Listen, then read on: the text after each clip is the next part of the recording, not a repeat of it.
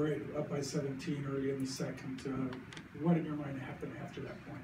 Um, we, we just let them back in. Uh, coming out of that timeout, Paul was yelling, you know, let's take it up 20, let's take it up 20.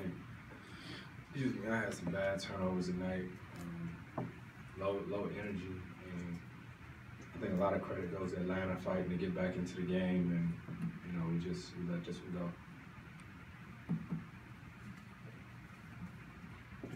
Um, they haven't done a lot of packing on DeAndre recently, uh, teams, mostly because he's been hit, hitting uh, a lot better rate. Um, did you feel like it, that kind of zapped the energy a little bit just because it happened so much? They went to it in the third, they went to it again. fourth. you know, I think uh, DJ did a great job. He was going to the line, knocking him down early. But uh, you know, the biggest thing whenever teams do that is uh, we have to defend.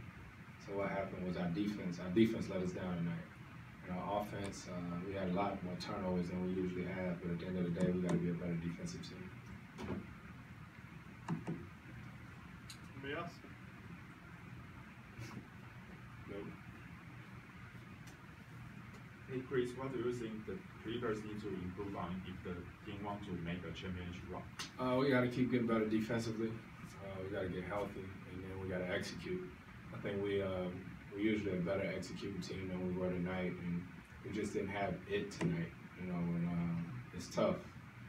It's too late in the season to have letdowns like we had tonight, but being up 17 on the team and letting them back in, we, we can't have. One. I know you usually talk about the defense when, when there is well, wins and losses.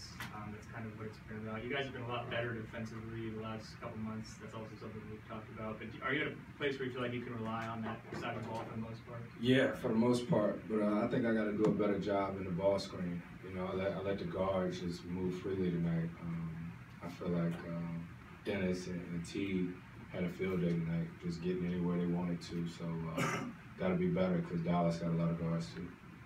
Thanks, guys.